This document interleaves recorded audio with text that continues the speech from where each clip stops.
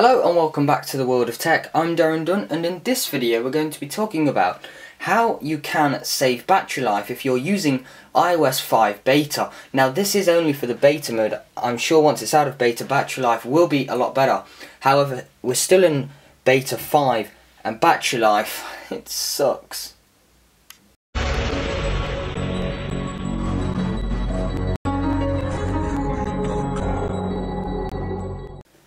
Now these tips are probably going to be very familiar, however if you haven't seen any battery life saving tips before, this is seriously going to increase your battery life. So starting off with the basic, brightness. Now if you have an iPad or an iPhone this is going to definitely be beneficial. You don't need it on the maximum brightness and a lot of people do have it on the maximum brightness.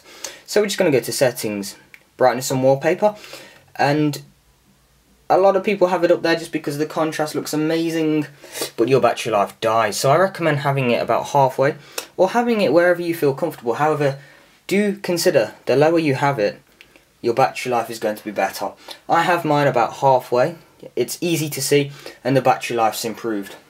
So that's one thing that I highly recommend.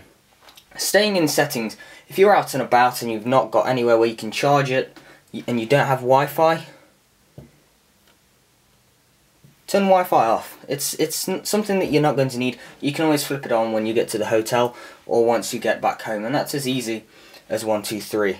Just going to reconnect because I am at home and I don't need my battery life right now. So let's talk about some other things that we can do in iOS 5 that's going to save our battery life. Oh dear, I have a lot of applications open that I'm not using. So, what do we do? Let's go ahead, close them. Close every single one of the ones that you're not going to be needing. And that's also going to help towards saving battery life. Something else, staying in settings, notifications. Now if you don't need notifications, turn them off. Or just do what I did and do nothing. But find a way to turn them off there's definitely a way where you can customize it. You just got to really minimize the stuff that your iPad's doing without having to put your iPad down. But the main three for the iPad are brightness, Wi-Fi, and multitasking. That's not like a weird sign or anything, hopefully. Now, one other thing that I can recommend is make sure Bluetooth is off.